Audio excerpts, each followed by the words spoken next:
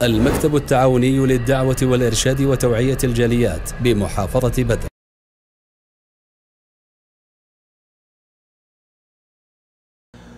আসসালামু আলাইকুম রহমতুল্লাহি অবরাকাত সুপ্রিয় দর্শক ও শ্রোতা বন্ধুগণ শয়তান ইবলিস আমরা সকলে জানি এটা আমাদের দুশ্মন বন্ধু নয় মহান রব্বুল আলমিন স্পষ্ট করে দিয়েছেন ইন্না শৈতান আলাকুম আদুউন ফত্তাখিদুহু আদুয়া যে শয়তান তোমাদের জন্য চিরতর দুশ্মন, তাকে দুশ্মনই তোমরা গ্রহণ করবে।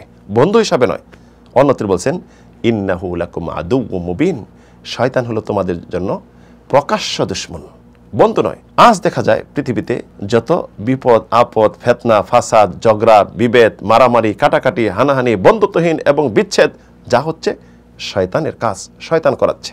আমরা যারা শয়তানকে বন্ধু হিসাবে গ্রহণ করে নিচ্ছি, এটা বুঝতে পারতেছি না। কিন্তু যার মাঝে ইমান রয়েছে, সে পথ খুঁজে যে কীভাবে এই শয়তান থেকে আমি রক্ষা পাবো, এর উপায় বাকি আজকে আপনাদের জন্য ষাটটি উপায় বলব।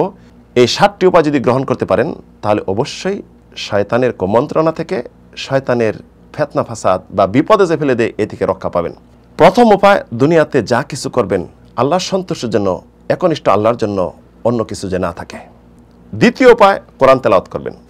কোরআন তেলাওয়াত করলে শয়তান আপনার পাশে আসবে না। শয়তান দূরে থাকবে। তৃতীয় সোরা বাকারা তেলাওয়াত করা।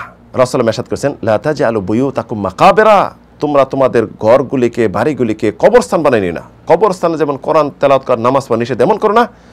বরং তোমাদের বাসা বাড়িতে সোরা বাকারা পড়ো। সোরা বাকারা যদি পড়ো ইয়ান ফিরু মিনহ শয়তান শয়তান তখন বাসা বাড়ি থেকে পালন করে। চতুর্থ আয়াতুল কুরসি আয়াতুল কুরসি আপনার জন্য অ্যান্টিভাইরাস শয়তান থেকে, শয়তান পাশে বিরবে না।